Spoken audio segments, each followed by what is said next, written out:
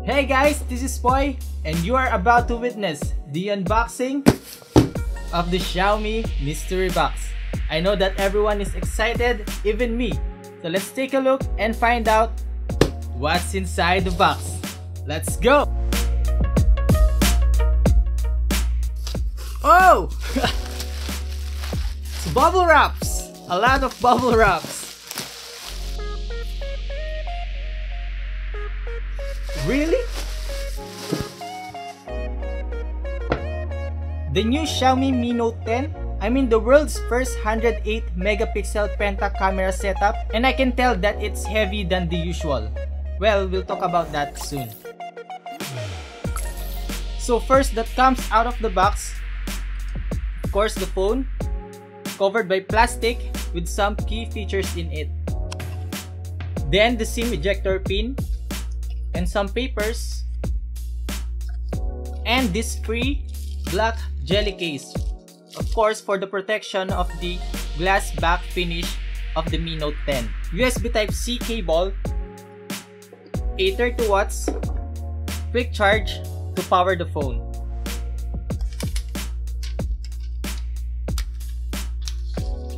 Here is it guys.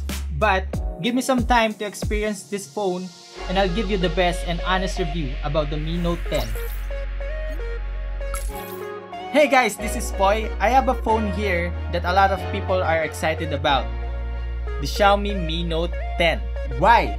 Since this is the world's first 108 megapixel penta camera setup, this phone is a game changer when it comes to mobile photography. But what about the rest of the package? You want to know more? Stay tuned and find out. It is finally official. Xiaomi is bringing its first 108 megapixel camera phone, the Mi Note 10. It offers more optical options than nearly any other phone on the market. Starting off with the design, I can really say that the Mi Note 10 has a premium feel to it. It is aluminum frame with Corning Gorilla Glass 5 on both front and back. It's got a big screen with a curved edge and a small dot drop notch. It's a little thick and heavy which is probably because of the massive battery but the gripping of it feels great thanks to the ergonomic corners of the phone. On the top, we can find the noise cancellation microphone for loudspeaker and IR blaster which you can use to control appliances. The volume rocker and the power button are both on the top right of the device. The placement and textures are good. On the bottom right is a dual SIM card tray, meaning guys there's no expandable on the Mi Note 10.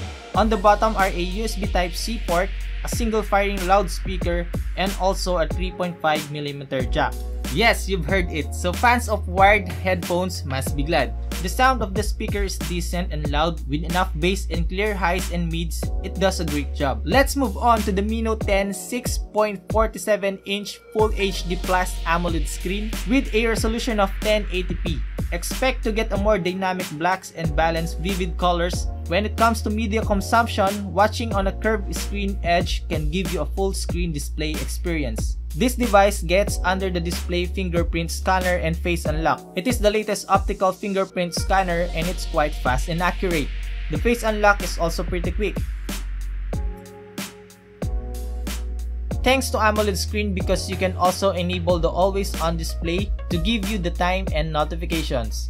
You can also customize it with some clean and awesome designs. The Mi Note 10 comes with a much larger battery than what we see on phones. A huge 5260 mAh battery that supports 30 watts fast charging. The phone managed to charge from 0 to 100 for about 65 minutes only. Very impressive for such a big battery, right? And the good thing here is that you will get the quick charger out of the box. With such a big battery, I easily got it to 2 days without charging the phone with my personal use. For the software, we got the newest MIUI 11. The good thing about the new MIUI 11 is the interface is clean, simple, and customizable. With the new dark mode, game turbo mode, and always on display personalization, it gives much more battery life and speed. Speaking of the Mi Note 10 cameras, on the back there are 5. Yes, a penta camera setup. A times 10 hybrid zoom camera, 12 megapixel times 2 telephoto camera, a 108 megapixel main camera. Below this setup, there's a 20 megapixel ultra-wide camera and a 2 megapixel dedicated macro sensor. On the front-facing camera, we get that 32 megapixel selfie shooter in the notch. Okay, I'm really excited to show you the samples, so let's get into it. All these photos were taken on the default camera mode which is 27 megapixel. Photos are actually quite pretty impressive when it comes to details, and since the sensor is large, we can get the benefit of natural bokeh effect. Portrait mode are great. It can capture a clear and sharp images. Subject background separation is good and quite accurate. The 32 megapixel selfie camera quite does a great job, with natural vivid colors, a good dynamic range, and the portrait mode is also pleasing.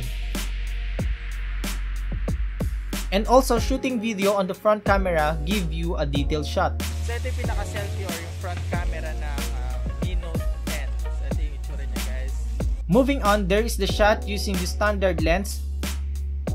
Here's the times 2 optical zoom. And then this is the times 10 hybrid zoom. As you can see guys, the details in this image are still sharp. The Mi Note 10 also have a times 50 zoom. Yes, it's a bit blurry but I'm still happy to see this on a smartphone. Then there's the ultra wide angle camera.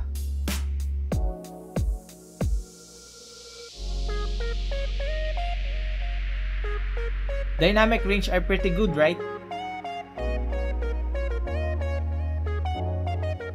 And of course, the dedicated macro lens. Here are a couple of macro shots I took from the phone. I like how close I can get to take some close-up shots.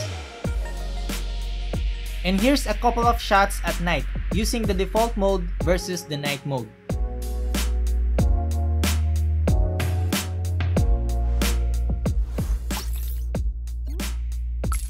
Now to the main event of this phone. Samsung's partnership with Xiaomi brings innovation when it comes to mobile cameras. With the new ISOCELL Bright HMX sensor, this will capture an extremely high resolution photographs. Take a look at this photos shot on the Mi Note 10's 108 megapixel camera. The photos look great.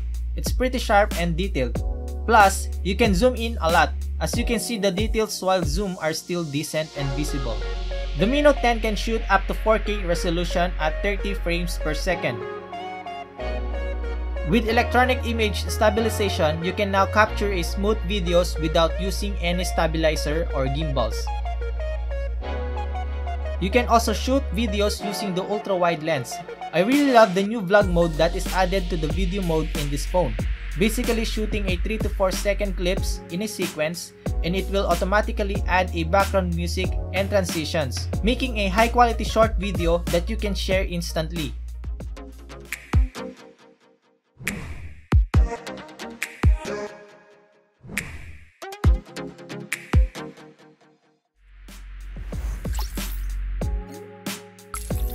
This mode really helps people who are into media posting and of course creators like me. And there you go guys, so what do you prefer? A higher end processor with a small battery life or a huge camera setup with a much bigger battery life? Comment down your top priorities when it comes to smartphones. But if you're into photography and looking for a camera smartphone, a decent curved screen for a better view, a good looking glass back design, a huge battery life that lasts for 2 days, the Mi Note 10 is perfect for you. If you want to see more videos like this, don't forget to like and subscribe to this channel and don't forget to hit that notification bell so you won't miss any future video. Again, this is Poy and this is the Xiaomi Mi Note 10. Thank you for watching. Nice! Xiaomi.